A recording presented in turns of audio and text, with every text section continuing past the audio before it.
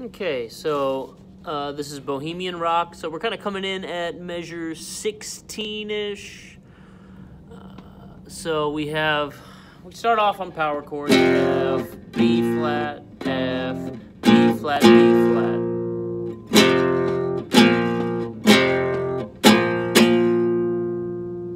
And that brings us to measure 18 where we have kind of a repetition of what we're doing at the beginning, but it's going to end a little bit differently. So we're back to this thing. So go back and watch that first video if you're wondering about it. So.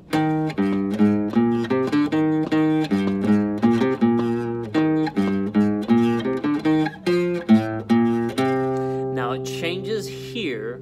So instead of going like we did the first time, we'll go. That is, is five, six, eight. Careful not to use four here because you're going to be, or sorry, uh, finger three like you were up here. Careful not to do that here. Um, that'll kind of be the tendency because you're used to doing it like that. When you move up, you got to change that note to an E flat.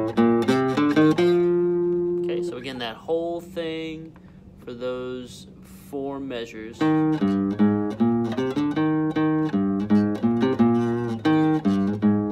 up. And then you're going to move up to the D string and do this. These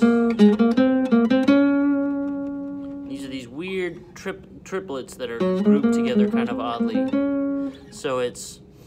Um, you're gonna have to kind of use. Yeah.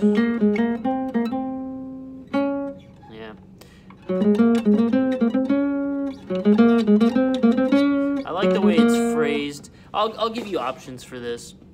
So the way I would play this, because I think it just follows the phrasing better, is to go four, six, eight, six, eight, ten, um, 8, 10, 11, all on the D string.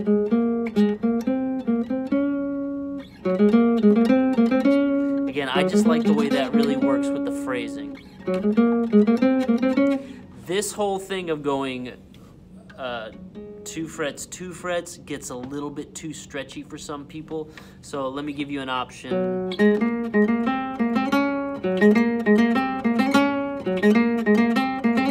can do it like that as well. So um, what that's going to be is starting on the D string, four, one, three, one, three, one. Now we're on the B string, three, one, two. So this is your position. This is your good old chromatic scale position.